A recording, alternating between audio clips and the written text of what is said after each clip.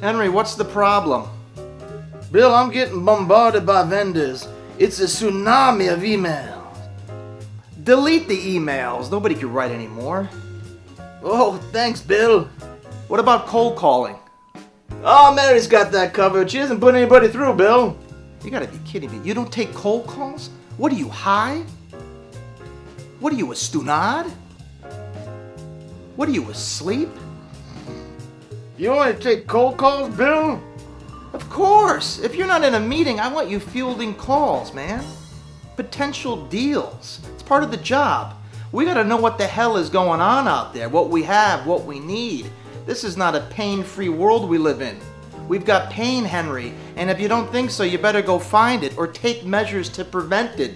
Take the cold calls. Take a six minute meeting if you think it's gonna help the bottom line.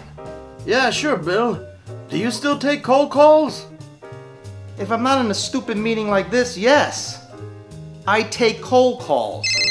There's a couple right now. McCracken. Yeah, what do you got? I'll take two in red, three in green,